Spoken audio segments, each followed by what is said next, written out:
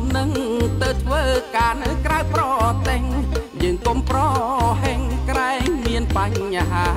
ប្រុងប្រៀបជើងព្រួឲ្យបានច្បាស់ការ ក្រែងមានវាសនា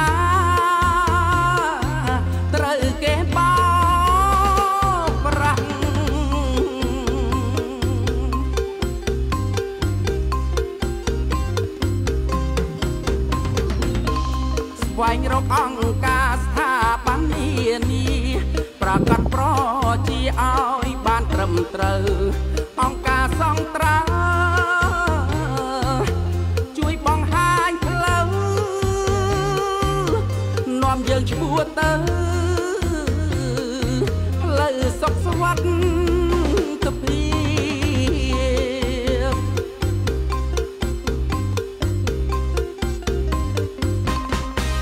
ងអង្គការសង្ត្រាតាក់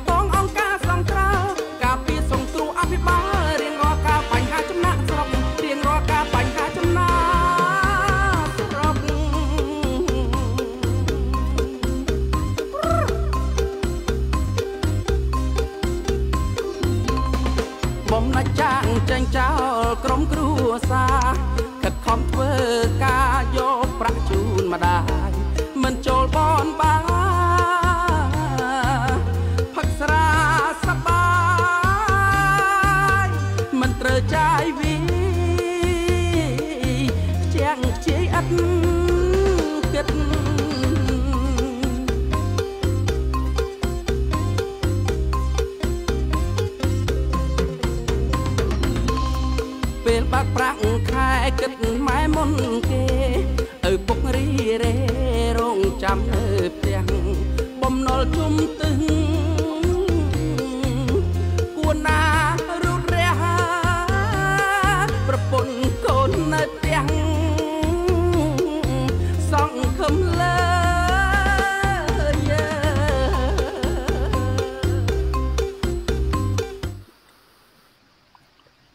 បាទសូម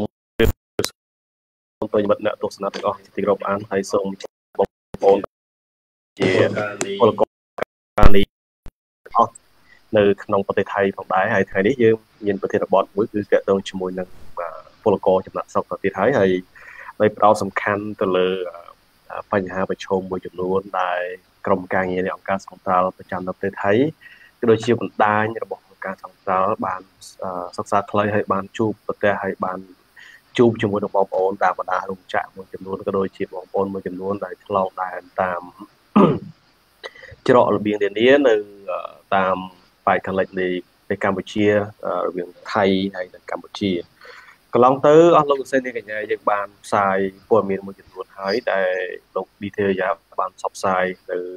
សារសំខាន់សំខាន់ដែលតាក់ទងជាមួយនឹងពលករដែលត្រឡប់មកវិញ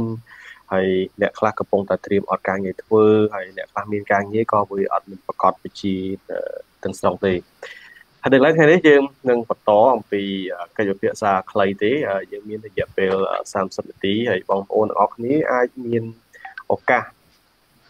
អាចចូលរួមផ្ដល់ជាយោបល់ឬក៏ comment ឬក៏អាចផ្ដល់ជាព័ត៌មានតាមរយៈនៃការផ្សាយរបស់យើង ហើយបើសិនជាមានព័ត៌មានតាក់ទងជាមួយនឹងពលករចំណាក់ស្រុករោងការចាញ់បោកមេខ្យល់ឬក៏ចាញ់បោកការជួញដូរមនុស្សអីជាដើមទៅទៅក្រៅប្រទេសហ្នឹងបងប្អូនអាចទំនាក់ទំនងមកសង្ត្រាល់បានឬក៏ក្រុមការងាររបស់យើងដោយលោកសុផុននៅក្នុងប្រទេសថៃអញ្ចឹងជាដើមបាទខណៈពេលនេះខ្ញុំបាទសូមជម្រាបសួរលោកសុផុនពីចម្ងាយបាទជម្រាបសួរអឺបាទជំរាបសួរហើយនឹងជំរាបសួរដល់បងប្អូនតាមដានស្ដាប់ ហើយនឹងតាមដានព័ត៌មានតាមអង្គការសង្ត្រាល់ដែលបានផ្សព្វផ្សាយរាល់សប្តាហ៍បាទសូមជំរាបសួរបាទថ្ងៃនេះយើងនឹងជជែកបន្ថែមអំពីប្រធានបទដែលតាក់ទងជាមួយនឹងបញ្ហាប្រឈមរបស់ពលករខ្មែរក៏ដូចជាពលករបរទេសនៅក្នុងប្រទេសថៃដែលកំពុងតែមានការរាតត្បាតដោយសារ COVID-19 ហើយដោយឡែកយើងចង់ដឹងអំពីស្ថានភាពមួយចំនួនក៏ដូចជាគោលនយោបាយខ្លះខ្លះដែរដែលថៃគេកំពុងតែធ្វើសម្រាប់ជនបរទេសជាពិសេសគឺពលករខ្មែរពលករឡាវហើយនិងពលករភូមាថាមកដល់ពេលនេះតើថៃហ្នឹងគេមានចំណាត់ការយ៉ាងម៉េចចំពោះពលករបរទេសទាំង3សញ្ជាតិហ្នឹងមានខ្មែរមានឡាវមានភូមាលោកសុផុនអាចរៀបរាប់ខ្លីបន្តិចបានទេមុននឹងឈានទៅដល់សម្រួលចម្លើយបន្ថែមបាទសូមអញ្ជើញបាទ បាទអឺតកតងទៅនឹងពលករបរទេសនៅក្នុងប្រទេសថៃនាពេលបច្ចុប្បន្ននេះដោយសារកន្លងមកមានការផ្ទុះឡើងនៃរោគ COVID-19 នៅក្នុងប្រទេសថៃធ្វើឲ្យពលករទាំងអស់ដែលនៅក្នុងប្រទេសថៃគាត់មានបញ្ហាប្រឈមជាច្រើនដែលធ្វើឲ្យជីវភាពនិង ការរស់នៅរបស់ពួកគាត់ហើយនឹងការធ្វើការរបស់ពួកគាត់នឹងមានបញ្ហាប្រឈមដូចជាបាត់បង់ការងារធ្វើអញ្ចឹងណាហើយកន្លងមកថ្មីថ្មីនេះរដ្ឋាភិបាលថៃមានគោលនយោបាយហើយរហូតទៅដល់ឲ្យពលករបងប្អូនណាដែលគាត់អឺអត់ទាន់មានច្បាប់ពេញលេញដែលថាពួកគាត់ស្នាក់នៅប្រទេសថៃដោយខុសច្បាប់នោះអឺប្រទេសថៃបានអឺ បន្ធូរបន្ថយបានមានគោលនយោបាយ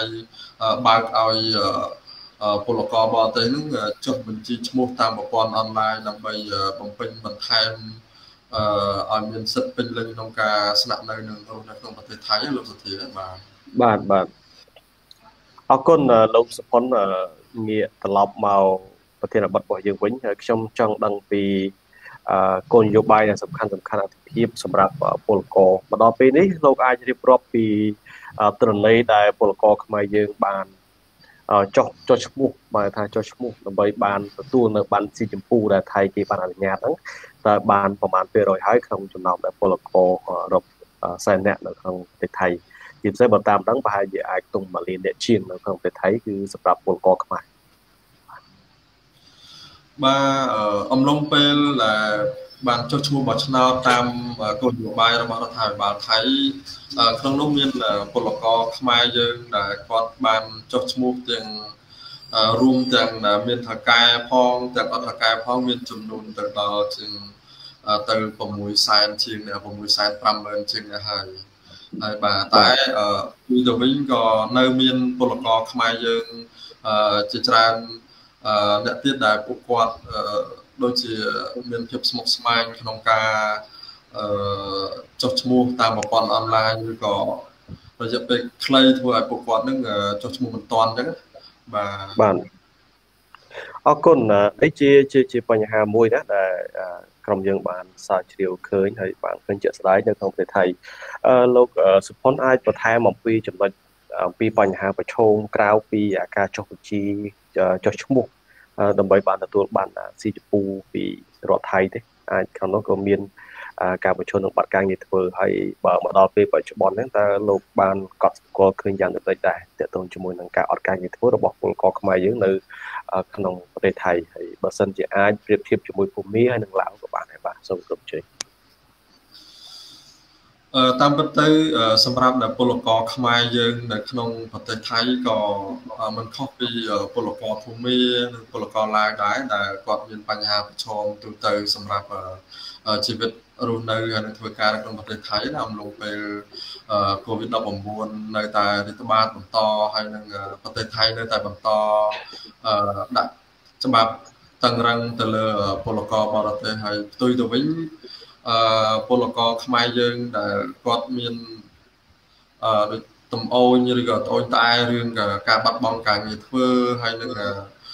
បាត់បង់ប្រាក់ចំណូលរបស់ពួកគាត់កន្លងមកដែលគាត់រកបានឬក៏ប្រាក់ចំណូលគាត់ច្រើនជាង400 500ដុល្លារក្នុងមួយខែមួយខែតែអំឡុងពេលនេះគឺពួកគាត់អឺបាត់ប្រាក់ចំណូលអញ្ចឹងគឺធ្វើឲ្យពួកគាត់នឹង ដូចថាមានការស្មុគស្មាញក្នុងការរស់នៅប្រទេសថៃឬក៏ចាយវាយនៅក្នុងប្រទេសថៃហ្នឹងมันគ្រប់គ្រាន់អញ្ចឹងលោកសុធានគឺជាភាពតូចតាចរបស់ពួកគាត់ចំនួនគាត់បានប្រាប់យើងនៅតំបន់ដែលយើងរស់នៅណាបាទបាទតែផ្ទុយវិញខ្ញុំគិតថាបងប្អូនពលករខ្មែរមិនថានៅក្នុងប្រទេសថៃនៅកន្លែងផ្សេងផ្សេងក៏មិនខុសគ្នាដែរដោយសារតែប្រទេសថៃគាត់ដាក់ប្រទេស ក្នុងគ្រាអាសន្នបែបហ្នឹងហើយណាមួយទៀតគឺការបន្តឹងនោះគឺធ្វើឲ្យពលករបរទេសទាំងឡាយណាដែលកំពុងស្នាក់នៅហ្នឹងគឺមិនឲ្យបំលាស់ទីមិនឲ្យបដូរទីកន្លែងទៅកន្លែងផ្សេងអញ្ចឹងគឺអញ្ចឹងច្បាប់គឺនៅតែគេអនុវត្តបន្តអញ្ចឹងថាធ្វើឲ្យពួកគាត់នៅកន្លែងមួយចំនួនគាត់មិនមានការងារធ្វើអ្នកខ្លះគាត់ធ្វើបានតែមួយអាទិត្យបានតែ3ថ្ងៃអញ្ចឹង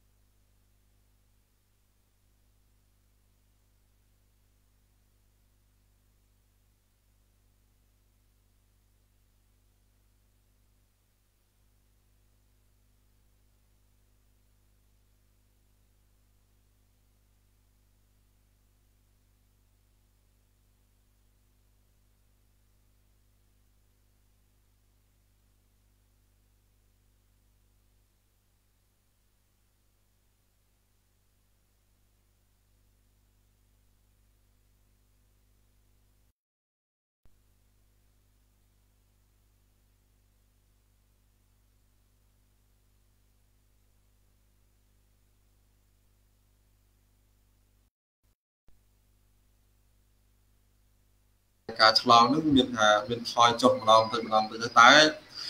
ផ្ទុយទៅវិញសម្រាប់បងប្អូនពលករយើងនៅក្នុងសុខថៃគឺនៅតែប្រឈមនឹងបញ្ហាដែល ប្រទេសថៃដែលដាក់សម្ពាធហើយនឹងប្រទេសថៃបានដាក់រឹតបន្តឹងទៅលើពលករហ្នឹងគឺអត់ទាន់ឲ្យមានពួកគាត់ហ្នឹងមានការបំលាស់ទីទេមានន័យថាច្បាប់កន្លងមកគេមិនទាន់បានបន្ថយក៏បន្ធូរបន្ថយឲ្យពលករណាបាទអំឡុងពេលនេះគឺអត់ទាន់មានទេអញ្ចឹងធ្វើឲ្យគាត់ហ្នឹងនៅតែមានភាពលំបាក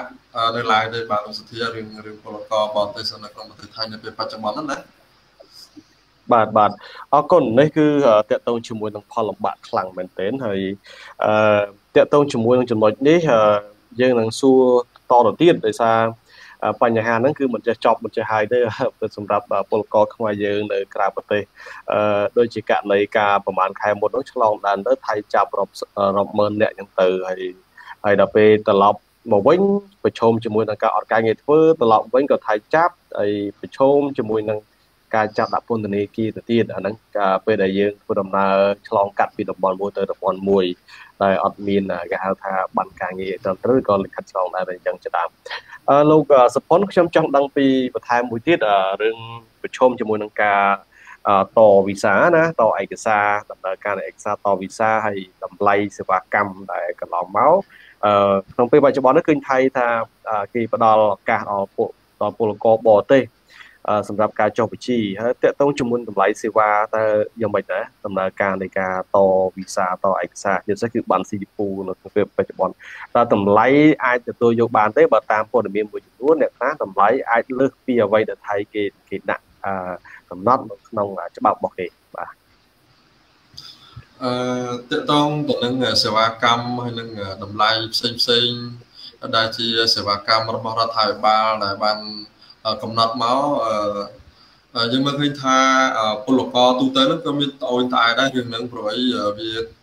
ថ្លៃខ្ពស់ជាងសពដងកន្លងមកយើងធ្វើអស់តា500បាតអញ្ចឹងណាបាទយើងតវីសានៅក្នុងប្រទេសថៃបាន2ឆ្នាំហើយនឹង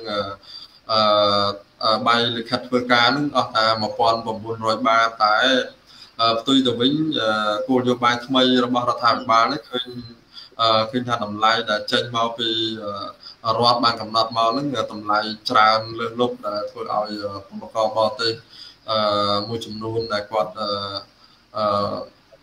មានការត្អូញត្អែនិងមានការលំបាកដោយសារតាគាត់បាត់បង់ការងារធ្វើហើយគាត់បាត់បង់ប្រាក់ចំណូលហើយហើយដល់មកចុះឈ្មោះតាមប្រព័ន្ធអនឡាញហើយធ្វើឲ្យគាត់នឹងចំណាយទៅលើការចាយវាយទៅលើសេវាកម្មផ្សេងផ្សេងទៀតអឺពួកគាត់មាន អារម្មណ៍មួយថាគាត់អឺមិនចង់អញ្ចឹងណាហើយនេះជាតូចតែមួយចំនួនសម្រាប់បងប្អូនពលករយើងនៅក្នុងប្រទេសថៃបាទហើយយើងផ្ទុយទៅវិញតម្លៃទាំងអស់ហ្នឹងបើយើងប្រៀបធៀបទៅនឹងតម្លៃពីមុនមកវាខុសគ្នាឆ្ងាយបាទខុសគ្នាឆ្ងាយមែនតើហើយអានេះជាតម្លៃសេវារបស់រដ្ឋណាតែតម្លៃសេវារបស់ក្រុមហ៊ុនដែលគេទទួលធ្វើការឬតម្លៃ អឺអន្តោពលិអន្តោវេទៅតាមតំបន់នីមួយៗគាត់យកតម្លៃថែមទៅលើទៀតសម្រាប់ការងារគាត់អានឹងយើងមិនដឹងទេតែយើងគ្រាន់តែថាតម្លៃដែលដែលរដ្ឋតាំងមកកន្លងមកគឺធ្វើឲ្យពលករបរទេសមិនថាភូមិមិនថាខ្មែរមិនថាឡាវទេគាត់មានការថាហេតុអីបានជាតម្លៃកាន់តែច្រើនទៅច្រើនទៅហើយអាយុអឺប៉ាសពតមានថាអាយុវីសាហើយនឹង វាមានសុពលភាពតិចជាងពីមុនអញ្ចឹងណាបាទនិយាយទៅបានតែមួយឆ្នាំម្ដងគឺមួយឆ្នាំគឺចាប់ដើមតម្ដងទៀតអញ្ចឹងណាបាទបាទបានន័យថាតម្លៃនៃការតលិខិតឯកសារថ្មីថ្មីនេះគឺវាមានបញ្ហាត្រង់ថាតម្លៃខុសពីមុនឆ្ងាយតម្លៃខុសពីមុនឆ្ងាយហើយជាពិសេសគឺពួក agency ឬក៏អ្នករត់ការចុះបញ្ជីជូនឈ្មោះឲ្យពលករយើងហ្នឹងគឺមានតម្លៃខ្ពស់ផងដែរហើយបើតាមអ្វីដែលខ្ញុំទទួលបានព័ត៌មានហ្នឹងគឺមានរហូតដល់15000បាតក៏មានដែរមិនអញ្ចឹងឯងតម្លៃថៃដូចជាកំណត់ត្រឹមប្រហែលដូច9000ណាលោកសុផុនបាទលោកអាចអាចអាចបញ្ជាក់ចំណុចនោះបានទេបាទនិយាយរឿងតម្លៃដែលរដ្ឋាភិបាលគាត់បានកំណត់មកគឺបើថាមកចប់រួចរាល់ហ្នឹងអស់តែ9180បាតទេតែសម្រាប់តម្លៃរដ្ឋាភិបាលបានកំណត់ហ្នឹងណា តែតម្លៃដែលដែលក្រុមហ៊ុនផ្សេងផ្សេងដូចជា agency poker ដែលគាត់ទទួលអឺមកធ្វើសេវាកម្មរបស់គាត់ហ្នឹងគាត់បូករួមទៅយើងឃើញថាវាតម្លៃច្រើនអញ្ចឹងហើយធ្វើឲ្យពលករបរទេសមិនថាខ្មែរមិនថាឡាវមិនថាភូមាទេព្រោះអីតាំងតែដើមឆ្នាំ2020មកដែលគាត់ដាច់វីសាហើយវីសាពួកគាត់អឺជួនកាល គាត់បានចំណាយទៅហើយដល់រឿងឯកសារចាស់របស់គាត់នឹងគាត់មិនទាន់ទទួលបានអឺវីសាមកវិញផងមិនទាន់បានទទួលបាននៅលិខិតធ្វើការមកវិញផងរហូតដល់អឺយើងធ្វើគោលនយោបាយថ្មីរបស់រដ្ឋាភិបាលថៃបន្តទៅទៀតមានន័យថាគាត់ចាយគាត់ចាយ2ដងអញ្ចឹងមានន័យថាអាចាស់បាទគាត់ធ្វើហើយតែគាត់ធ្វើអត់តន់គ្រប់លក្ខណ្ឌកៈទេហើយក៏អត់តន់បានទទួលយកមកវិញដែរ ដល់ពេលនៅចុងឆ្នាំ2020រហូតដល់2021នេះរដ្ឋាភិបាលបានកំណត់គោលនយោបាយថ្មីទៀតធ្វើឲ្យពលករបរទេសទាំងឡាយដែលគាត់កំពុងតែស្នាក់នៅនឹងកំពុងតែអឺបំលាស់ខ្លួនដើម្បីតាមគោលនយោបាយរបស់ថៃហ្នឹងអញ្ចឹងមានន័យថាពួកគាត់ឈឺកន្លងមកហើយម្ដងនេះគាត់ឈឺមួយសារទៀតមានន័យថាគាត់ចំណាយអឺ ម្ដងទៀតធ្វើឲ្យពួកគាត់នឹងរុញរាក្នុងការរស់នៅអញ្ចឹងហើយបានថាបញ្ហាប្រឈមរបស់គាត់នឹងគឺគឺចេះតែមកមកបន្តបន្តអញ្ចឹងបាទអញ្ចឹងហើយបានថាគាត់ថាលំបាកលើសូម្បីតែរលុយតម្លាក់ឲ្យបងប្អូនទៅផ្ទះវិញក៏លំបាកសូម្បីតែរលុយចាយវាប្រចាំថ្ងៃហ្នឹងក៏លំបាកទៅលំបាកទៅអញ្ចឹងណាបាទបាទបាទអរគុណលោកសុផុនដែលស្រេះត្រឹមនេះសិនហើយមានសំណួរតទៅទៀតហើយសូមបញ្ជាក់បងប្អូនផងដែរថាបើសិនជាមានសំណួរ បងប្អូនអាច comment សួរបានហើយបើសិនជាមានព័ត៌មានអាចទម្លាក់នៅក្នុងការផ្សាយរបស់យើងនេះបានទាក់ទងជាមួយនឹងពលករចំណាក់ស្រុកហើយប្រធានបទរបស់យើងថ្ងៃនេះគឺទាក់ទងជាមួយនឹងបញ្ហាប្រឈមរបស់ពលករបរទេសហើយទាក់ទងខ្មែរផងដែរដែលធ្វើការងារនៅក្នុងប្រទេសថៃដែលកំពុងតែជួបវិបត្តិជំងឺ Covid-19 ដែលកំពុងតែរាតត្បាតហើយដល់ឡែកយើងបានជជែកបន្តបន្តហើយអំពីគោលនយោបាយសំខាន់សំខាន់ដែលថៃកំពុងតែផ្ដល់ជូនដល់ពលករបរទេសជាពិសេសគឺការតឯកសារតវីសាជាដើម ហើយបើសិនជាបងប្អូនមានជាយោបល់ឬក៏មានជាសំណួរអាចតម្លាក់នៅទីនេះបានហើយមានលោកជាងប៉ះកង់ផងដែរលោកជាងឡានប៉ះកង់ផងដែរលោកសួរដែរតើតងជាមួយនឹងការជន់មានឆ្លងដែននេះយើងអត់ទាន់សួរទេចាំតិចទៀតនេះខ្ញុំនឹងសួរបន្តអំពីការធ្វើដំណើរត្រឡប់មកវិញហើយដែល like ខ្ញុំចង់សួរលោកសុផុនបន្តទៅទៀតថាដោយសារយើងធ្វើការងារនៅថៃតើតងជាមួយនឹងស្ថានទូតខ្មែរយើងនៅបង្គកណាតើមានការឆ្លើយតបយ៉ាងម៉េចដែរតើតងជាមួយនឹងការ តវីសាដូចឧទាហរណ៍ថាការតវីសាឡើងវិញរបស់ថៃដែលគេផ្ដល់អត្ថប្រយោជន៍ដល់ពលករបរទេសពិសេសគឺខ្មែរយើងហ្នឹងហើយតើគោលនយោបាយភាគីថៃពាក់ព័ន្ធជាមួយនឹងពលករចំណាក់ស្រុកនោះវាជាជាការរត់បតឹងខ្លាំងទេឬក៏ជាការភាសាខ្លះខ្លះហើយមកដល់ពេលពេលនេះបាទអានេះសូមសូមបន្ថែមទៀតបាទលោកសុផុនអឺតើតើទៅនឹងស្ថានទូតឬក៏ស្ថាប័នរដ្ឋប្រចាំនៅ ប្រទេសថៃដូចជាជាពិសេសគឺស្ថាប័នទូតនឹងតែម្ដងអឺអំឡុងពេល COVID-19 អឺខ្ញុំឃើញគោលនយោបាយរបស់គាត់បានដាក់ឡើងជួយពលករបងប្អូនយើងដែលមានជីវភាពខ្វះខាតគាត់អំទាវនាវហើយនឹងគាត់បានណែនាំបងប្អូនរឿងបំលាស់ទីរឿងធ្វើ គោលនយោបាយធ្វើចុះឈ្មោះតាមអនឡាញដែរតែរឿងតម្លៃគាត់អត់បានលើកឡើងទេរឿងហ្នឹងដោយសារតាខ្ញុំអត់ទាន់បានចម្លើយច្បាស់លាស់ពីខាងស្ថានទូតអញ្ចឹងហ្នឹងហើយហើយតែរឿងគោលនយោបាយផ្សេងផ្សេងឃើញ គាត់បានទាវនាវដែរថាធ្វើឲ្យទៀតតងតាមស្ថានទូតបើសិនជាបងប្អូនណាដែលមានបញ្ហាដូចជាគាត់ខ្វះខាតឬក៏អត់ការងារធ្វើហើយរស់នៅដោយអស់ស្បៀងអាហារអញ្ចឹងគឺអាចទៀតតងទៅនឹងតាមលេខទូរស័ព្ទរបស់ស្ថានទូតអញ្ចឹងតែគោលនយោបាយផ្សេងផ្សេងដូចជា តម្លៃសេវាកម្មដែលធ្វើប៉ាសពតឬក៏សេវាកម្មអីផ្សេងផ្សេងហ្នឹងគឺយើងអត់ទាន់មានចម្លើយចេញពីស្ថានទូតនៅឡើយទេអំឡុងពេលបច្ចុប្បន្ននេះបាទបាទអរគុណលោកសុផុនអឺសូមបញ្ជាក់បងប្អូនផងដែរតកតងជាមួយនឹងពលករខ្មែរយើងដែលបានចុះបញ្ជីផ្លូវការមកដល់ពេលបច្ចុប្បន្ននេះគឺមានចំនួន65 4864នាក់ហើយហើយក្នុងនោះក៏មានឡាវមាន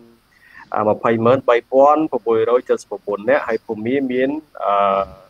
67108នាក់បាទអានេះជាជាជាជាតួលេខដែលបានផ្លូវការដែលដែលទទួលបានពីក្រុមការងារនៅក្នុងប្រទេសថៃបើសិនជាព័ត៌មានខ្វះខាតត្រង់ចំណុចណាលោកសុផុនអាចបន្ថែមបាទតួលេខដែលខ្ញុំអានបាញ់បាញ់នេះបាទកម្ពុជាយើងគឺមាន65បាទ4864នាក់បាទ បានចំនួនទៅតាមតួលេខដែលក្រសួងការការងារថៃដែលបានបើថាបានបានអាប់ដេតចុងក្រោយតាំងតែថ្ងៃទី15ខែមករារហូតដល់ថ្ងៃទី13ខែកុម្ភៈបានថារយៈពេល1ខែតែចំនួននេះជាចំនួនដែលដែលក្រសួងការងារថៃបានអាប់ដេតជាចុងក្រោយបាទតែបើយើងប្រៀបធៀបទៅនឹងពលករដែលគាត់ มันបានចុះឈ្មោះបើតាមតែព័ត៌មានតាមទិន្នន័យចាស់មានថានៅមានចំនួនច្រើនណាស់ដែលបងប្អូនពលករខ្មែរយើងដែលគាត់មិនទាន់បានចុះឈ្មោះណាបាទបាទថ្ងៃខ្ញុំមិនដឹងថាពួកគាត់នៅក្នុងប្រទេសថៃឬក៏ពួកគាត់បានបំលាស់ទីឬក៏ត្រឡប់ទៅស្រុកប្រទេសកំណើតវិញ យ៉ាងណាតែថ្មីថ្មីនេះដែលយើងបានដឹងព័ត៌មានខាងព្រំដែនមកថាអឺមិនថាឡាយនៅខាងកម្រៀងឬតាមឡែមឬក៏តាមច្រករបៀងតូចតូចឬក៏អូបេជន់ឬតាមអឺអូស្មាច់ទេដែលឃើញប្រជាពលរដ្ឋខ្មែរយើងបានត្រឡប់ទៅស្រុកកំណើតវិញច្រើនច្រើនមែនទែនរហូតដល់កន្លែងទីសម្ចតមួយមួយពេញពេញហើយពួកខាង អង្គការសង្គមស៊ីវិលហើយនិងរដ្ឋាភិបាលកំពុងតែរៀបចំបន្ថែមនៅកន្លែងសម្រាប់ទីសម្ចតរបស់ពួកគាត់ណាបាទបាទហើយផ្ទុយទៅវិញមានពលករមួយចំនួន ដែលយើងនិយាយរឿងដំណើរការតវីសាដំណើរការចុះបញ្ជីឈ្មោះពួកគាត់ក៏លើកឡើងតើរឿងចាស់ចាស់កន្លងមកដូចគាត់ថាខ្ញុំចំណាយពីមុនមកតវីសាអត់ទាន់ហើយផងឥឡូវនេះឲ្យមកធ្វើបាក់ស៊ីចម្ពោះថែមទៀត នៅក្នុងអំឡុងពេលដែលគាត់អត់ការងារធ្វើជាងទៀតទេអញ្ចឹងហើយពួកគាត់ហ្នឹងទៅផ្ទះសិនអញ្ចឹងណាទៅត្រឡប់ទៅស្រុកខ្មែរសិនណាមួយអឺខែកុម្ភៈខែមិនិនាឬក៏ចិត្តដល់ខែចូលឆ្នាំហើយគាត់ថាប្រហែលជាអាចចូលឆ្នាំឬក៏មិនគេបើកច្រកថ្ងៃណាទេតែទៅផ្ទះសិនទៅអំឡុងពេលនេះលំបាកហើយណាតែ ពលករមួយចំនួនគាត់ដឹងហើយថារដ្ឋាភិបាលថៃហើយនិងខ្មែររដ្ឋាភិបាលខ្មែរបានដាក់គោលនយោបាយមិនឲ្យពលករខ្មែរបំលាស់ទីមិនឲ្យពលករខ្មែរឆ្លងដែនដែលខុសច្បាប់តែនៅតែពលករខ្លះនៅតែមានអឺគោលចំហមួយចំនួនគាត់ថាបើមិនទៅហាមគាត់គាត់តែបើមិនឲ្យគាត់ទៅបើគាត់អស់ស្បៀងអស់អស់ការងារធ្វើអញ្ចឹងណាហើយមាន បថុយបន្ថែមក្នុងការត្រឡប់ទៅស្រុកខ្មែរវិញយើងចឹងដែរមានមានចឹងដែរបាទបាទអរគុណនេះជាចំណុចដែលឧស្សាហ៍មួយផងដែរតែអ្នកពាក់ព័ន្ធជាពិសេសគឺស្ថាប័នរដ្ឋគួរតែយកចិត្តទុកដាក់ឲ្យដោយឡែកយើងបន្តនៅចំណុចមួយទៀតដែលតកតងជាមួយនឹងការវិលត្រឡប់បញ្ហានៃការវិលត្រឡប់មកពីថៃពលករខ្មែរដែលចុះគេហៅបានស៊ីជពូក៏មិនបានហើយខ្វះទាំងថវិកាខ្វះទាំងលុយហើយការងារក៏អត់ហ្នឹងគឺ បាទអ្វីដែលយើងបានកត់សម្គាល់កាលឆ្នាំ2020យើងឃើញថា2020ថ្មីថ្មីទេបើចុងចុងចុងឆ្នាំយើងឃើញថាលោកសុផុនផ្ទាល់ជាអ្នកដែល track ព័ត៌មានហើយដែលជាអ្នកកត់ត្រាព័ត៌មានរឿងការចាប់ខ្លួនរបស់ទាហានថៃចំពោះពលករខ្មែរយើងហ្នឹងគឺមាន10000ជាងអ្នកដែរបាទប្រហែលជាខ្ទង់15000ទៅ17000អ្នកអានេះជាជាតួលេខដែលយើងឡាំសាំទៅយើងបូកថាកាលចន្លោះ6ខែ ក្នុងឆ្នាំ2010 2020គឺមាន15396នាក់ហើយដល់ពេលចុងឆ្នាំដល់ខែវិច្ឆិកាហើយខែធ្នូហ្នឹងដល់ខែមករាហ្នឹងគឺមាន1350 1385នាក់ទៀតហើយបូកទៅវាមក17000ជាងអ្នកដែរហើយជិតជិតជិត18000ដែលទាហានថៃបានចាប់ហើយដាក់ពន្ធនាគារអាហ្នឹងសម្រាប់ការដែលវិលត្រឡប់មកវិញលោកសុផុនកំឡុងពេលដែលកំពុងតែកូវីដរាតត្បាតដូចនេះនៅក្នុង ប្រទេសថៃក៏ដូចជាអ្វីដែលយើងបានតាមដានព័ត៌មានលោកសុផុនមានកត់សម្គាល់ថាមានការថយចុះទេក្នុងកលៈទេសៈដែលប្រទេសកម្ពុជាកំពុងតែរត់រត់បិទរត់បន្តឹងនៃការតាមចាប់មេខ្យល់ដែលបញ្ជូនពលករទាំងកោច្បាប់ក្នុងពេលដែលប្រទេសទាំងពីរកំពុងតែបិទច្រកទាំងពីរបាទលោកលោកយល់ឃើញយ៉ាងម៉េចដែរឬក៏មានព័ត៌មានអីដែលអាចចង់អាប់ដេតបន្ថែមបាទ អឺទៅទៅទៅតងទៅរឿងអឺព្រំដែនដែលពលករគាត់តែងតែលោបលួចបើថាគាត់ចូលមកតាមច្រករបៀងទូចទូចតាមមេខ្យល់យើងឃើញថាអំឡុងពេលចុងឆ្នាំដើមឆ្នាំ2021ក៏នៅតែមានមកច្រើនហើយនឹងជាពិសេសអំឡុងពេលខែមករាតែម្ដងហើយអឺ ខាងប៉ូលីសនិងទាហានថៃដែលគាត់ត្បាតតាមព្រំដែនអឺស្រះកែវហើយនឹងតាមព្រំដែនចន្ទបុរីក៏បានចាប់ហើយបញ្ជូនទៅខាងខ្មែរវិញតែអឺតាំងតាមានការប្រកាសដាក់រឹតបន្តឹងនៅតាមព្រំដែនមកចូលមកខែនេះខែកុម្ភៈមកក្នុងខែ2ក្នុងឆ្នាំ2021នេះមានការដូចរៀងស្ងប់ស្ងាត់បន្តិចបាទគឺថាមើលទៅ ការដាក់រឹតបន្តឹងរបស់រដ្ឋាភិបាលហ្នឹងគឺធ្វើឲ្យរៀងស្ងាត់ដែរតែខ្ញុំឃើញនៅតែមាននឹងបាទនៅមានប្រអីមេខ្យល់នឹងនឹងស្រាប់ហើយវាថាគាត់មានយុទ្ធសាស្ត្រហើយគាត់មានភូមិសាស្ត្ររបស់គាត់ដែលគាត់អាចគេចផុតពីទាហានពីបណ្ឌិតអញ្ចឹងណាបាទតែយើងឃើញថាយើងស្ងប់ស្ងាត់ជាងមុនបាទស្ងាត់ជាងមុនដែរបាទ អរគុណលោកសុផុនសម្រាប់ព័ត៌មានដែលល្អល្អច្រើនដែលចែកជូនសម្រាប់ទស្សនិកជនគឺជាបងប្អូនដែលជាពលករពលការនេះនៅក្រៅប្រទេសក៏ដូចជាកម្មករកម្មការនេះនៅក្នុងប្រទេស ដូចជាប្រជាពលរដ្ឋខ្មែរទាំងអស់ទូទាំងប្រទេសជាតិកម្ពុជាហើយជាពិសេសគឺបងប្អូននៅតាមជនបទដាច់ស្រយាលដែលខ្វះព័ត៌មានហើយសង្ឃឹមថាបងប្អូនដែលបានស្ដាប់នៅទីនេះអាចយកទៅចែកចាយបន្តក្នុងករណីដែលប្រទេសកម្ពុជាយើងកំពុងតែជួបវិបត្តិ COVID-19 ហើយថៃដូចគ្នាហើយគេបិទច្រកហើយកុំប្រឈមជាមួយនឹងការឆ្លងដែនកោះច្បាប់ទៅធ្វើការងារក្នុងប្រទេសថៃហើយសូមជ្រើសរើសនៅការរស់នៅក្នុងប្រទេសកម្ពុជាយើងដែលប្រកបដោយសុវត្ថិភាពហើយក្នុងកលៈទេសៈនេះគឺសូម មេតាកុំចាក់ចាញ់ពីប្រទេសកម្ពុជាអានេះជាជាជាយោបល់របស់ខ្ញុំណាហើយជាពិសេសគឺការទៅរកការងារធ្វើអីនៅក្នុងប្រទេសថៃនោះគឺនៅតែមានបញ្ហាប្រឈមម្ល៉េះទេបើសិនជាបងប្អូនមិនបានប្រុងប្រយ័ត្នច្បាស់លាស់ទេអាចប្រឈមជាមួយនឹងការជាប់ពន្ធនាគារជាដើមហើយមួយទៀតសូមប្រកាសព័ត៌មានចុងក្រោយផងដែរតកតងជាមួយនឹងការ ការជួញដូរមនុស្សណាការជួញដូរកម្លាំងពលកម្មឬក៏ការជួញដូរមនុស្សឬក៏បញ្ហាចំណាក់ស្រុកបើសិនជាបងប្អូនដែលនៅតាមទីជនបទមានបញ្ហាប្រឈមឬក៏មានចម្ងល់ចង់សួរអីបងប្អូនអាចតាក់ទងលេខទូរស័ព្ទ0 93 55 6631ឬក៏070 55 6695បាទ093 55 6603 ឬក៏លេខលោកសុផុនផ្ទាល់ដែលជាបុគ្គលិកនៃអង្គការសង្ត្រាល់ដែលកំពុងតែ live ផ្ទាល់ជាមួយខ្ញុំនេះប្រចាំនៅប្រទេសថៃគឺលេខ094បាទ094 44 215បាទខ្ញុំសូមអានដល់ទៀតគឺលោកសុផុននៅថៃហ្នឹងគឺ094 44 12 15បាទហើយក្បាលលេខកូនហ្នឹងគឺក្បាលលេខដាក់លេខបូកទៅដាក់លេខ66ទៅហើយយើងចុច 9444 12 215ទៅហើយបើសិនជាចង់ដឹងព័ត៌មានលម្អិតអំពីបញ្ហាប្រឈមជាពិសេសគឺអ្នកនៅក្នុងប្រទេសថៃតែម្ដងបាទអ្នកនៅក្នុងប្រទេសខ្មែរគឺអាចតតង093556631បាទបាទអរគុណច្រើនលោកសុផុនសម្រាប់ការចំណាយពេលវេលាដ៏មានតម្លៃហើយសង្ឃឹមថាសប្តាហ៍ក្រោយយើងនឹងជួបគ្នាអាប់ដេតនៅព័ត៌មានពលករចំណាក់ស្រុកម្ដងទៀតអំពីស្ថានភាពថ្មីថ្មីនៅក្នុងប្រទេសថៃបាទ ហើយគណៈពេលនេះខ្ញុំបាទទូធាសូមអរគុណសូមជម្រាបលាបាទជួបគ្នានៅថ្ងៃស្អែក